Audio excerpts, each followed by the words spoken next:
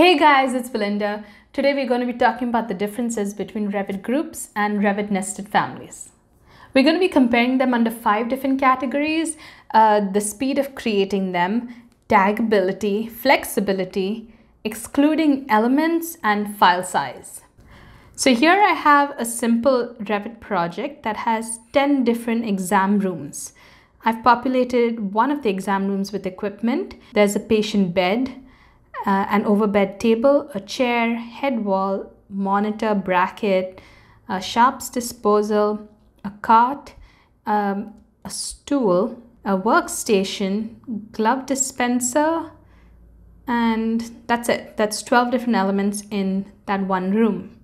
And I want to populate all the other rooms with the same equipment. I'm going to select all of them, filter out everything but specialty equipment, and then I'm going to create a group. I'm going to name this group exam room and then just simply copy it to all the other 10 rooms. Now very conveniently, all these rooms are exactly the same size.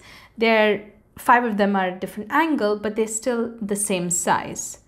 So I'm easily able to just copy all these groups to the rooms and within a few seconds I was able to populate all 10 rooms with the equipment. Now the thing with groups is that if I ever make a modification to one of them, say I move the workstation to the other wall, it changes the location in all the rooms.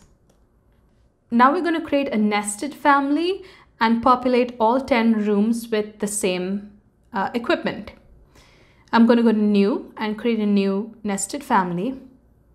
The problem is that I can't just copy and paste uh, all the elements because they're not compatible. You get an error down here saying you can't copy between a family and a project, unfortunately.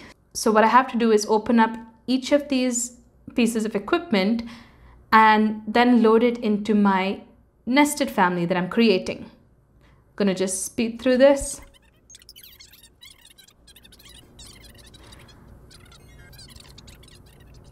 I'm going to roughly align it to where I think it was placed in the project. So now I have all 12 pieces of equipment in my nested family. I'm now going to save it and then load it into my project. So you can see that I had to approximate the location of these elements. So the workstation and the glove dispenser are not up against the wall. So the width of the room is 15 feet 11 inches.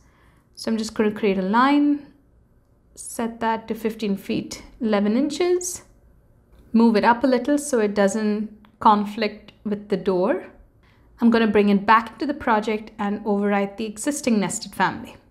Now the same thing that we did for the groups, I'm going to copy this nested family into all nine other exam rooms. So you can see that creating the nested family obviously took a lot more time than creating the group and I wasn't able to use the walls as a reference so I just had to approximate it, go back and forth, take some dimensions and also loading each family into my nested family took a bit of time too. So groups was a clear winner under speed of creation. Next, let's look at taggability. So if we go to the group that I created, I can easily tag all the elements in that group without any issues. But when it comes to tagging the nested family, I'm not able to.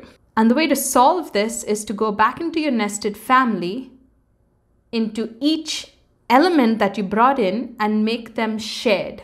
I'm going to open up the chair family and under the properties, I'm going to check the box that says the shared parameter is enabled. I'm going to do it for the table, the glove dispenser, workstation, the stool, the light, all the other elements included in this nested family. A little more cumbersome than the group. Once all the elements are made shared, I'm then going to overwrite the existing family and all the shared sub subcomponents. And I'm finally able to tag all of them by hitting the tab button. So when it comes to taggability to groups is a winner. You're still able to tag the nested family, it just takes much longer. Now let's discuss groups and nested families in terms of flexibility. Here I have the exam room group, all 10 of them. This was created under the ideal condition that all exam rooms are the same, but you know that's not going to happen in your project. So say for example, the five rooms on the right are not 15 feet 11 inches in width they are a foot bigger. You can see that the glove dispensers and the workstations are no longer up against the wall. But if I ever move them in one group, it's going to move them in the other group. So all the families on the left now have to be different from the families on the right. So what I need to do is select this group, duplicate it, and then move the glove dispensers and the workstations a foot back so that they're up against the wall. Once that's done, I'm going to select all other four groups on the right hand side to the new model group that we just created. Now, if I ever move this cart further towards the door, it's not going to show the same location in the other group because they're both independent groups right now. So if I ever have to make a change to one, I have to duplicate my work and make that same change to every other group that I've created. Now, the next issue with these groups is say, for example, these top four exam rooms don't have to have a bed. They need a stretcher in the room instead of a bed. I need to now create two more groups in order to switch out that bed to a stretcher. I'll also switch out the family below it to that exam room 3 group. Now since this is independent, I need to make the same change to the other two groups on the right hand side. Now can you see the issue? In a very short amount of time, we have gone from just a single model group to four model groups just to accommodate slight changes. It's quickly gotten much tougher to keep track of changes and make global changes too. Let's look at what would happen if we had to make the same changes to a nested family. On the right hand side, our wall moved out a foot. So what we need to do is create a reference plane and then create a distance parameter, which we'll call width for width of the room.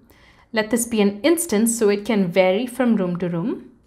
I'll then align and lock the glove dispenser and the workstation to that reference plane we created. We'll bring this back into a project and you can see here these tiny arrowheads. Those allow you to change the location of the glove dispenser and the workstation depending on the width of the room. But the good thing is that they're all still the same family. Next, we're going to see how to deal with the bed versus stretcher issue.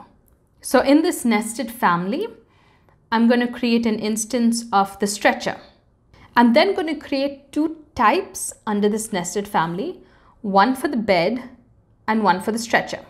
I'll then create a visibility parameter and call it bed viz and that's going to be type based and not instance based. I'm then going to select the stretcher and create another visibility parameter call this stretcher viz and I'm going to have them both sitting in the same location. When I go to the family types under the stretcher type I'm going to turn off the bed and under the bed type I'm going to turn off the stretcher and we still have just a single family. So when I select the nested family in exam room 1 under properties, I'm going to switch it out from a bed to a stretcher family. I'll do the same thing in exam rooms 2, 10 and 9. All the other nested families still show the bed. Since they're all still the same nested family, if I move the uh, cart further towards the door, that cart location was updated in all the families. You don't have to worry about missing a particular room or duplicating that work that you've just done.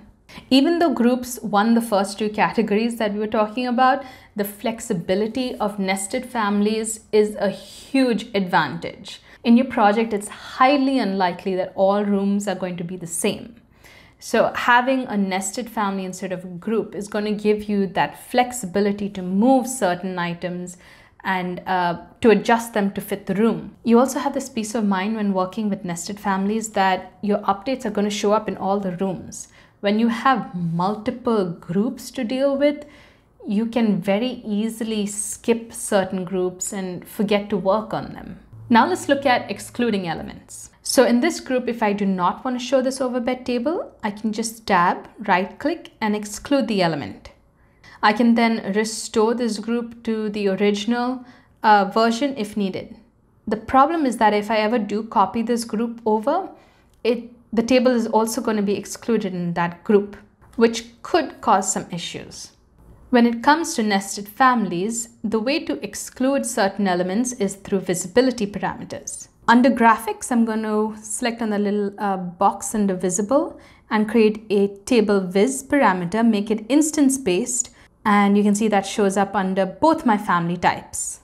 And then when I click on it, under properties, scroll all the way down and you can see a table viz parameter. So if I uncheck it, it just turns off the table in that room, but it's still visible in all the other rooms.